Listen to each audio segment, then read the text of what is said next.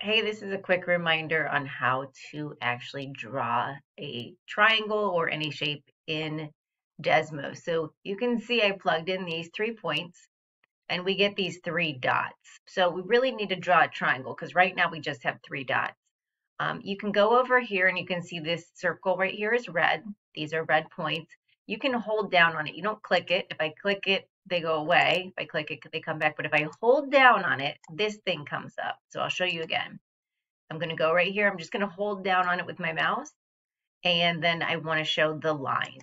So the lines will show, and that's how you get them to come up. So we could label them.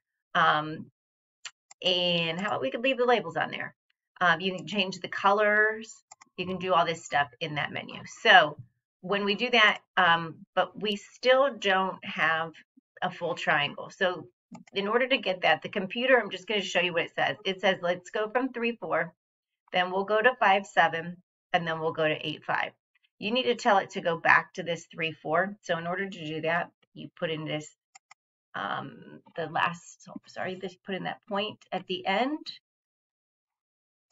And you can see it has completed the triangle. So you, we've got our three points. You just take whatever is their first point and put at the end, and that will go ahead and close up that triangle. So we can turn the labels on and off if you'd like to, but you hold down this button to get the lines to show up.